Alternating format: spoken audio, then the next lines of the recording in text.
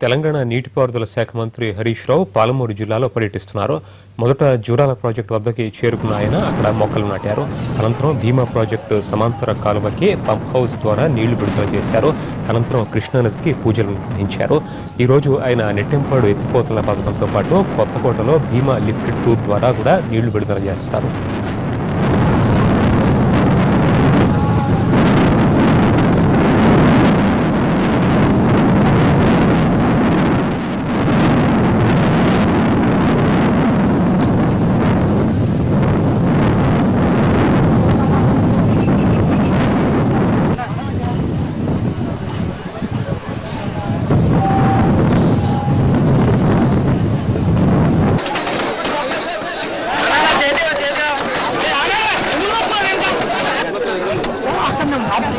Let me tell you.